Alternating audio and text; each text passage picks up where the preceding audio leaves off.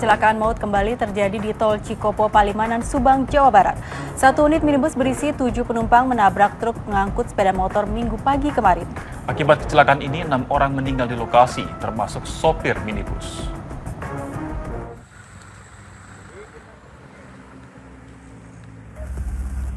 Kecelakaan kembali terjadi di tol Cikopo, Palimanan, Subang, Jawa Barat, tepatnya di kilometer 113 minggu pagi. Satu unit minibus ini seketika hancur usai menabrak truk pengangkut sepeda motor. Kecelakaan bermula saat minibus melaju dari arah Palimanan menuju Jakarta. Tiba-tiba sopir minibus menabrak truk di depannya. Minibus pun tersangkut dan terseret hingga 100 meter lebih.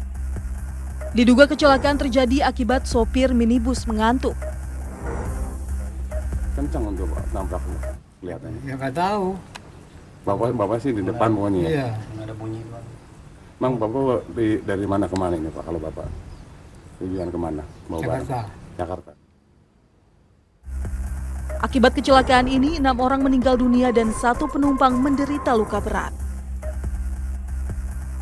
Usai dibawa ke Rumah Sakit Cihereng Subang, Jawa Barat, enam korban meninggal dunia berhasil diidentifikasi.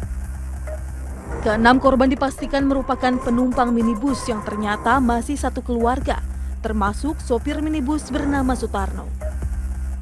Sementara itu, olah tempat kejadian perkara telah dilakukan polisi pasca pengamanan barang bukti kendaraan yang terlibat kecelakaan.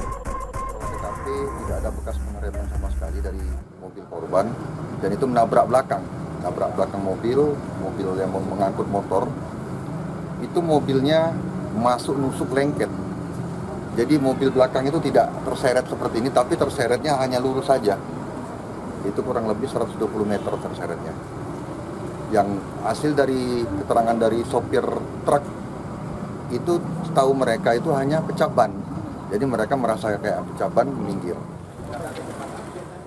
Kini keenam jenazah telah dibawa pihak keluarga untuk dimakamkan. Sementara sopir truk pengangkut motor masih terus dimintai keterangan.